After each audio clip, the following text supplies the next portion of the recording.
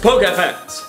Michael here. Look at my shirt, it's so clever. Oh my god, so funny. Ha ha ha ha ha. I'm in college now, but back in high school I had a knack for physics class.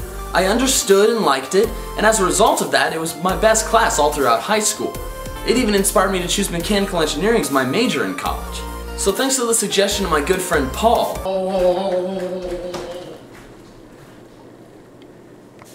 I decided to use my physics knowledge and apply it to some Pokemon, analyzing some of the strange physics about them. Now keep in mind that my knowledge of physics isn't extremely advanced, so don't expect any super high-tech calculations. Also, I'll have to make a fair amount of assumptions and estimations since my subjects are, I don't know, fictional. So if you want to learn a little bit about physics with some Pokemon thrown in the mix, without further ado I give you the first strange Pokemon physics Pokemon. Machamp. Machamp is a fighting type Pokemon introduced in the first generation. Weighing in at close to 300 pounds, but only being 5 foot 3 inches tall, means it's a solid mass of muscle. Its Pokemon Y Pokedex data states it uses its four powerful arms to pin the limbs of its foe, then throws the victim over the horizon. Many of its other dex entries talk about it either throwing or punching a victim over the horizon. Hmm. Over the horizon, huh? Sounds impressive. What kind of force would be required to do that? In other words, exactly how hard can Machamp punch? First we need to know how far the horizon actually is. There are two formulas for calculating this, depending on whether you want metric or imperial units. To calculate this, we need the vantage point height, which in this case would be Machamp's eyes. I estimated that this would be about 2 inches below the top of his head, so about 5 foot 1 or 1.44 meters. Plugging those values into the equation gives us a horizon distance of about 4.44 kilometers or 2.75 miles. That's almost the distance of a cross-country race. Now in order to find the force needed to send a victim, let's say it's me, this distance, we need to know the victim's initial velocity. We can find this using the projectile motion distance formula, where d is the distance, v naught is the initial velocity, g is the acceleration due to gravity, and theta is the angle at which the victim was initially launched. This formula ignores air resistance, which I'm doing as well for simplicity's sake.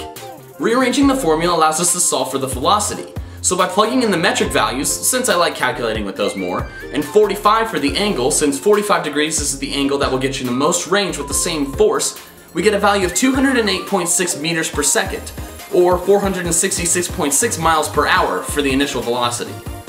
That's more than twice the speed of an arrow launched from a compound bow. To find the force needed to accelerate the victim to such an absurd velocity in such a small distance, we'll use Newton's second law equation, we have my mass, which is about 165 pounds or 74.8 kilograms, but we need the acceleration. To find that, we use this kinematics equation, assuming 0 is the initial velocity and a distance of about 1 meter. Doing some rearranging and plugging in, we get an acceleration of 21,756 meters per second squared. Plugging this into F equals ma with my mass, we get a force of 1,630,000 newtons, equal to around 365,800 pounds. Talk about your left hook. Now the strange thing about this force is that it wouldn't punch me over the horizon. It would just punch right through me.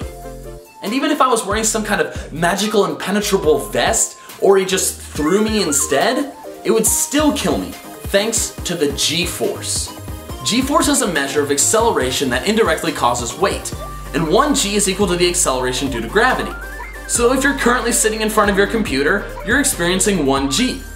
50 to 75 g's will result in serious injury and possibly death, and the most g's ever survived by a human was 214. We can find how many g's I'm experiencing by dividing our acceleration value by the acceleration due to gravity. So how many g's would I experience? 2,220. I would be ripped apart. Real bad. So in the end, any of Machamp's punches would punch right through any human, and any of his throws would rip any human apart. Huh. No wonder fighting's super effective on normal. So there we have it, the first entry into strange Pokemon physics. What did you think of this video? Do you want to see more? What Pokemon do you want to see on strange Pokemon physics in the future? Let me know in the comments below, and until next time, Pokefans, gotta catch them all!